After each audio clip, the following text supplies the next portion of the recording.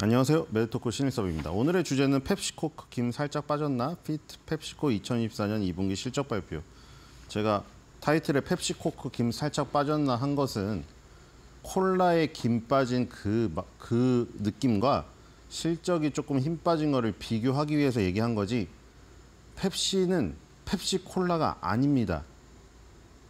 코카콜라는 지금 코카콜라로 나가고 있죠. 펩시는 펩시콜라로 안 나가고 있거든요. 펩시코로 나가고 있습니다. 이, 이 차이를 느끼셨어요? 펩시코, 펩시 회사예요. 펩시콜라는 펩시코의 대표적인 제품이지만 펩시콜라가 펩시코를 모두 대변하지 않기 때문에 펩시콜라라는 걸 이름을 떼버리고 펩시코로 바꾼 겁니다. 코카콜라는요. 코카콜라는 콜라가 대표 제품이다. 전체를 대변하는 그냥 아이덴티티이기 때문에 코카콜라라는 사명을 유지하고 있는 거예요. 거기서 차이가 있는 것이죠. 펩시콜라는 코카콜라와의 여러 번의 싸움, 뭐 펩시 챌린지도 있었고 있었으나 결국에는 펩시콜라로서 코카콜라를 못 넘는다는 것을 인지를 하고 빨리 포트폴리오 확대 전략으로 나섰죠. 이미 펩시코라는 사명까지 변경하면서. 그래서 펩시코크 김 살짝 빠졌나라고 표현을 했지만 펩시코크로 전체를 설명할 수 없는 회사다. 그거를 명심하면서 봐야 되고요. 2024년도 2분기 실적 발표 나왔습니다. 매출 전년 동기 2023년도 2분기 대비 1% 증가해서 22.5 빌리언 달러를 벌어들였고요. 미국 회계 기준 GAAP 기준 순이익 3 빌리언 달러로 전년 동기 대비 12% 증가했습니다. 그거를 주로 나누면 주수로 나누면 주당 2.23 달러가 나오고요. 그거는 13% 전년 동기 대비해서 성장한 수치입니다. 자, 넌 GAAP EPS니까 실제 회계, 회계 기준에 따른 거 말고 이게 바로 그냥 조정 순이익이죠. 혹시 일회성 비용, 혹시 뭐 임원진들한테 스톡 옵션을 지급했거나, 혹시 그때만 인수합병을 했거나, 혹시 그때만 땅을 샀거나, 혹시 그때 무슨 벌금을 물거나, 그런 걸 제외하고 진짜 영업으로 벌어들인 순이익을 알기 위해서 조정을 해봅니다. 조정을 했는데 2.28달러. 큰 차이는 없었네요. 이게 만약에 엄청나게 큰 차이가 있다고 하면은 이것은 더 유의합니다. 왜냐하면 일회성 비용이 굉장히 상당했다, 상당했던 것을 의미하기 때문에. 근데 지금 펩시코 같은 경우는 2.23, 2.28이니까 조정, 일회성 비용이나 이런 거를 뺐어도 그렇게 큰 차이는 없었다. 어쨌든 2.23에서 2.28 정도 나온 게 진퉁이다.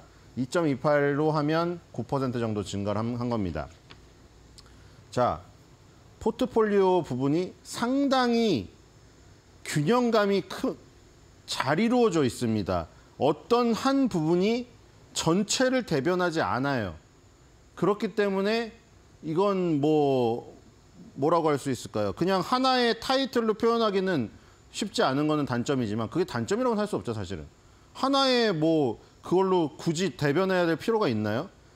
이 지금 보면은 Frito-Lay North America가 26.1이고 이 30.3 차지하는 게 PepsiCo Beverage North America입니다.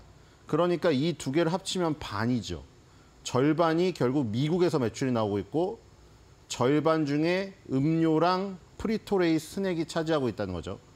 Frito-Lay는 치토스, 도리토스 이런 제품들을 갖고 있는 스낵 회사입니다. 이 스낵 회사를 인수하면서 거기서 코카콜라의 차, 코카콜라와의 차별점을 가져가게 된 거죠. PepsiCo Beverage 부분도 30.3. 어쨌든 50%에 해당되는 게 지금 음료랑 스낵에서 나온다. 그리고 North America가 하나 더 있죠. 여 위에 세 개는 다 North America 북미입니다. 밑에는 다 다른 나라고요. 북미에서 나오는 것 중에 2.5%를 차지하는 이 까만색의 Quaker Food가 있습니다. 결국에 이쪽 부분의 세개 대략 합쳐보면 은 58% 거의 60%에 해당되는 게 북미에서 나오고 그것은 세 개의 자아로 만들어져 있어요. 뭐 마치 가시나무처럼 내 속에 내가 너무, 너무나 많아 그런 거예요. 펩시 콜라 부분, 퀘이커 푸드라는 시리얼로 시작해갖고 지금 여러분들 편의점에서 아침에 급하게 먹는 예전엔 시리얼을 먹었지만 시리얼도 타 먹을 시간 없습니다. 시리얼 그릇에 타고 우유 부어야 되거든요.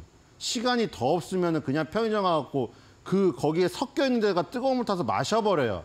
아침 곡물 음료로. 그런 거 만드는 회사고요. 시리얼 회사에서 아침 음료 회사로 바뀌었고 최초에는 최초에는 뭘 갖고 있었나 원래? Quaker Food는 MLB 요즘에 많이 보시잖아요. MLB 중간중간에 해바라기 씨랑 뭐 마십니까? 게토레이. 게토레이 갖고 있는 회사를 인수해가지고 그 시장을 먹어버리는 바람에 코카콜라가 거기서 뒤져버린 거잖아요. 뒤쳐졌죠. 뒤진, 뒤진다는 게 아니라. 자, 뒤진다 표현이 있었죠. Frito-Lay, Frito-Lay, Quaker Food, 콕, 펩시콜라. 이렇게 3등분의 자아로 이루어져 있고 북미 이주로, 이루, 이루어졌다. 근데 마이너스가 어디서 났습니까? Frito-Lay는 flat이었고요.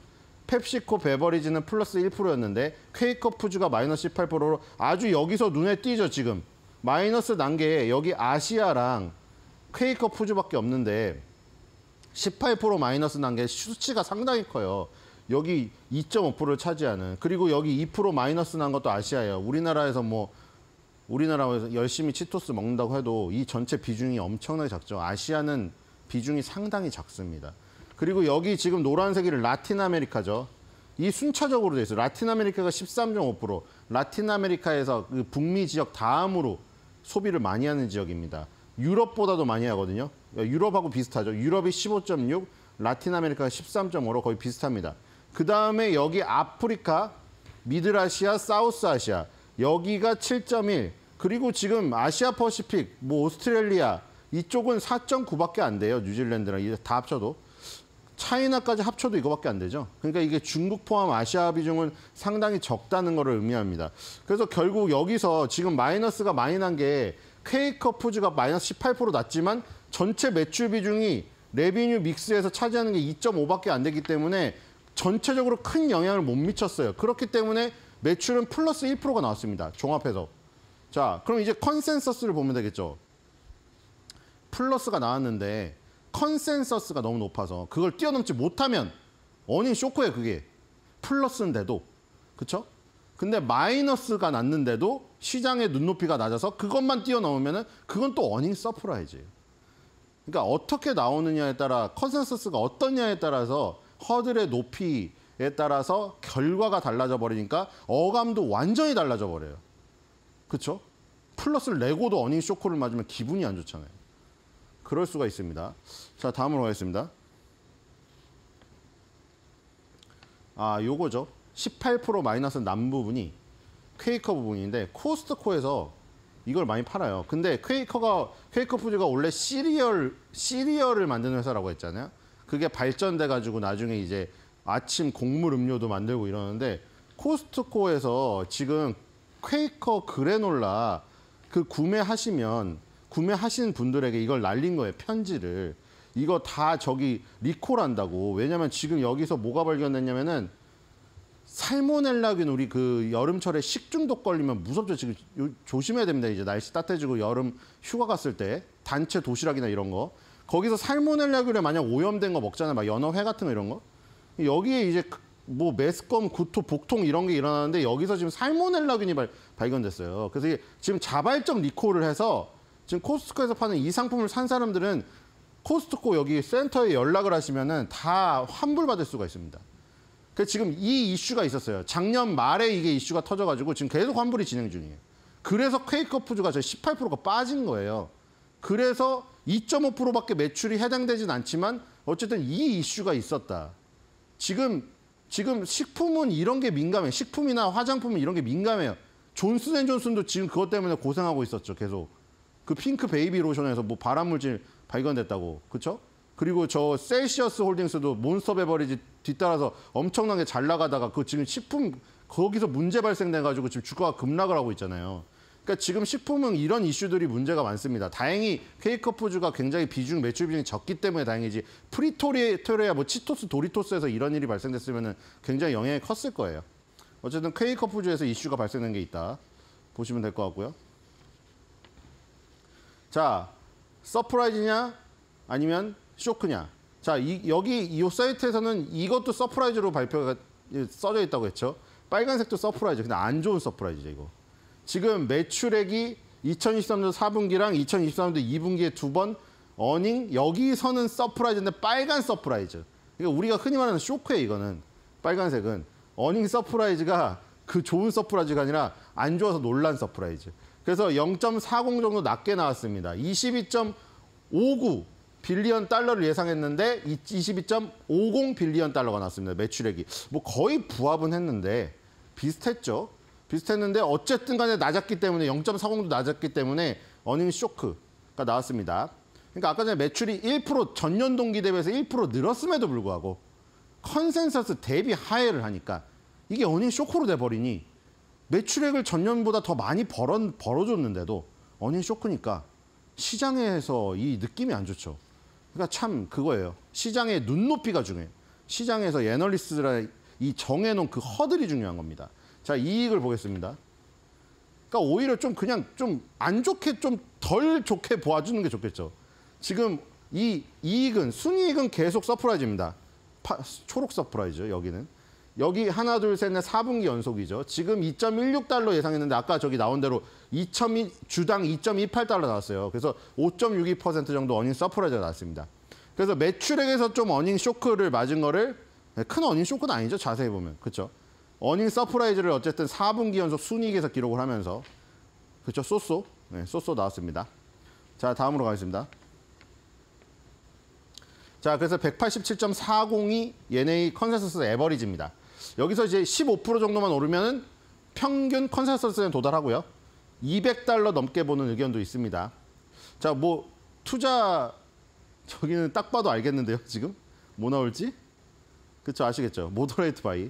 Strong buy 안 나오죠. 16, 16개 의견 중에 10개 buy, 6개 hold입니다. 네, 요 정도 수준이고요. 지금 160달러니까 뭐 200달러 가게 된다면 뭐 의견이 올라갈 수도 있겠어요. 자, 차트를 보겠습니다. 자, 식품주는 어, 지금 그 뭐냐 치폴레나 치폴레도 요즘에 좀 빠지고 있다. 식품주가 조금 요즘에 살짝 위에서 조정을 하고 있거든요.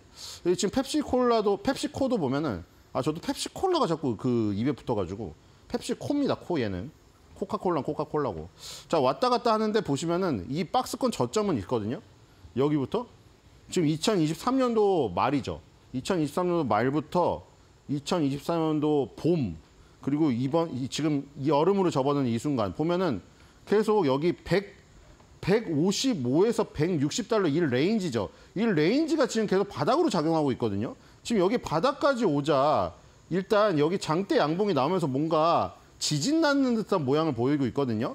그래서 이 전체적으로 작년 말부터 보면은 이, 이 정도 수준에 오면은 일단 위로 가는 흐름이 나왔어요. 그래서 지금 박스권 하단부에 어떤 그런 확률적인 지지 지지 확률은 있다 이렇게 보시면 될 것 같고요.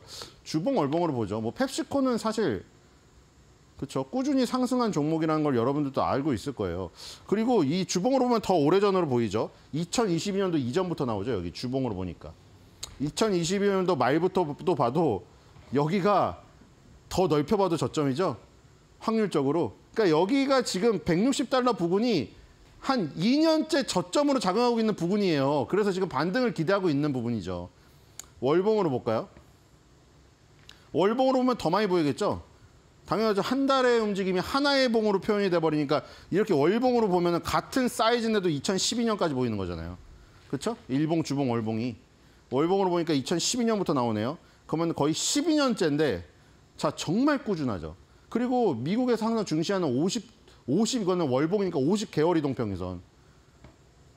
보세요. 아까 주봉으로 봤을 때 주봉으로 봤을 때 여기 저, 여기 이 부분까지 보였죠. 2022년. 2022년까지 보였잖아요. 주봉으로 봤을 때는 저희 끝이 2022년이었잖아요. 여기가 160달러 부분이 저점이라고 했는데 160달러 부분이 저점인 거 그 마디지수 때 말고 또 있죠 여기 50개월 이동평균선이 지금 10년째 지지잖아요. 10년째. 그렇기 때문에 굉장히 믿을 만한 곳이죠, 여기. 왜냐면 여기 보시면 2023년도 3월 달에 코로나 여기 보이시죠? 이 기다란 꼬리. 기다란 꼬리인데 여기 보시면은 올려놓은 게 어디예요? 딱. 그 다음 달에도 몸통이 정말 정확하죠. 월 중에는 50개월 이동평균선 빠진 적이 있는데 월 마감 때는 항상 50개월 이동평균선 위로 올려놨어요. 코로나 때도. 만약에 지금 이게 코로나 때보다 펩시콜라의 상황이 어렵지 않다고 생각하시는 분은 10년치 통계로 봤을 때 50개월 이동평균선은 정말 10년 동안 항상 바닥 저점 매수의 구간이었어요. 지금까지. 그렇기 때문에 굉장히 중요한 구간이다 기술적으로 지금 보시면 될 것 같고요. 코카 펩시코를 장기적으로 노리시는 분은 기술적으로 굉장히 유의한 구간입니다. 그렇게 보시면 될 것 같고요. 오늘의 한 줄 매도평입니다.